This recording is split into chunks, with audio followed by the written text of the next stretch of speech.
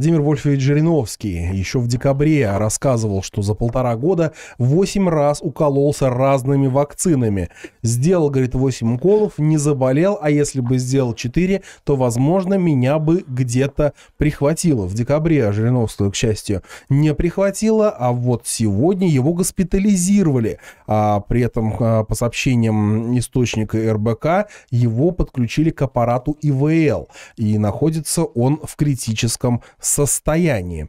А, значит, э, значит, э, телеграм-каналы сообщают, что у него поражено от 50 до 75 процентов легких. Это очень серьезно. И, значит, э, двусторонняя пневмония на фоне коронавируса. А, а в пресс-службе ЛДПР заявляют, что вообще политик себя чувствует хорошо и все вообще нормально. Да, все нормально, никакой паники, все будет хорошо. Слушайте, ну, конечно, я Жириновскому желаю здоровья. Он все-таки должен э, дожить до суда, как говорится, народ должен воздать ему, да, за все то, что он сделал на протяжении 30 лет как политик, да, натворил на протяжении 30 лет как политик. Поэтому э, надеюсь, что он поправится, да, и коронавирус его, э, как говорится, отпустит. Но между тем, представляете, просто насколько сейчас напряжены ребята в администрации президента. Вы просто представляете, вот эта э, закостенелая, сформировавшаяся, устоявшаяся политическая модель, в которой Жириновский играет очень весомую часть. У него от, э, э, отведена роль оттягивания на себя людей, которые настроены протестно, которые хотят изменений, но которые клюют на вот это вот, значит, это, это эпатаж, эти бесконечные э, крики, которые ничем не заканчиваются, даже хотя бы голосованием, да, которое совпадало бы с тем, что Жириновский говорил. Тем не менее, э, представляете, вот просто, если вот Жириновский коронавирус или время, или что-то другое случится, вот такая вот трагедия, э, Жириновского заберет время.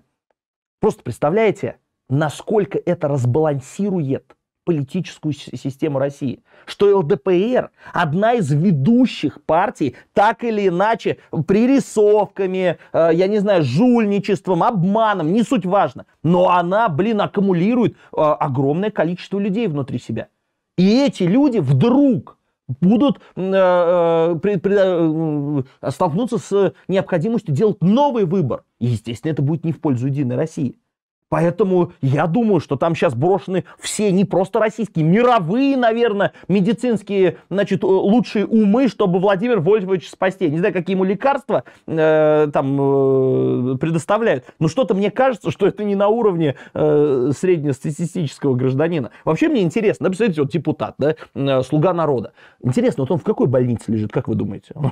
Центральная клиническая больница города Москвы. Интересно посмотреть его палату, да? Что-то мне кажется, что это не в коридоре коридоре и не на полу, как кладут э, пенсионеров или многодетных матерей. Что-то мне кажется, что это чуть больше, да, чуть, чуть лучше условия. Ну да ладно, я, знаете, что, э, какой, с какой мыслью э, сталкиваюсь? Ну, вообще, э, так вот от, а, от фигуры Жириновского отойдем, страшная ситуация, да, человек вот лежит, его жизни угрожает, э, значит, э, вирус, да, опасность угрожает. Вот как вы думаете сейчас, сколько людей переживает за Жириновского? Сколько сейчас людей?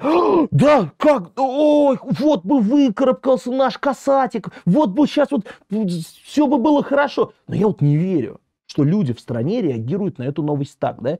То есть Жириновский себя настолько дискредитировал, что вместо какого-то сострадания, сожаления, люди, ну я не знаю, не то, что, наверное, улыбаются-то, может, и нет, да, но воспринимают это с некой такой иронией, да. Человек, который рассказывал, что он там э, 6 раз, потом 7 раз, потом 8 раз, э, он там путал, вспомните в показаниях, сколько раз он при, привился, да, от коронавируса. И тут вдруг вот на тебе в больницу отвезли, да, с поражением легких 70%. Вы знаете, Жириновский настолько часто э, ставил на себя вакцину. Ну, знаете, наверное, можно сказать, что он это делал чуть реже, чем ходил с мальчиками в баню. Да, помните вот эти соколы Жириновского, которые на матрасах его таскают? Какой позор на всю страну.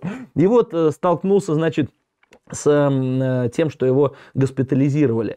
Э, конечно, первая мысль, которая мне приходит на ум, действительно Жириновский прививался ну, если такое количество раз он ревакцинировался и делал это настолько часто и системно, в его, тело, в его теле должно быть огромное количество э, антител, да, значит, в его организме должно быть большое количество э, как бы антител, которые противодействуют вирусу этому.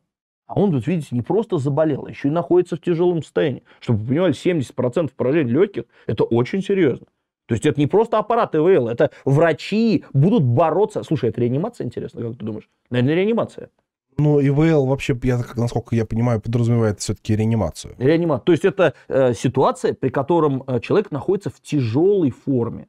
То есть его жизни э, угрожает опасность. Здесь варианта два.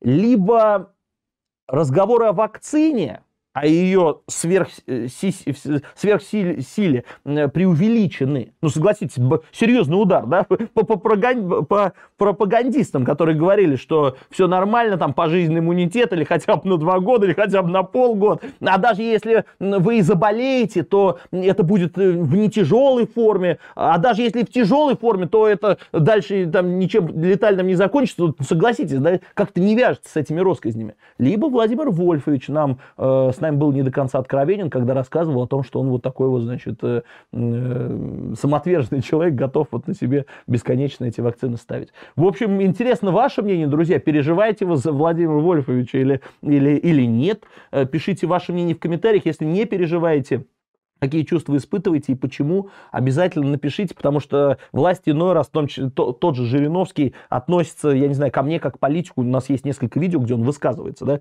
э, очень скептически, да, называя нас преступниками, да, обвиняя в тех или иных уголовных преступлениях, что, что ты говоришь? Ну, экстремистом, экстремистом он, назвал, он называл, да, да и, и, и так далее. Э, чтобы у них не было, как говорится, козыря, говорить, что это вечно там недовольная оппозиция, там, значит, они вот все равно всем будут недовольны. Пусть э, это мнение будет не только от имени э, Николая Бондаренко, да, не только от имени коммунистов, но и, собственно, все граждане выскажут его. Поэтому оставляйте мнение в комментариях. Ну, говоря о том, насколько индифферентно э, и, эм, значит, ужасно воспримут или, или ужасно воспримут эту новость россияне, конечно, остается под вопросом, ну, кроме администрации президента, но я думаю, что некоторые соколы Жириновского могут расслабить булки. А,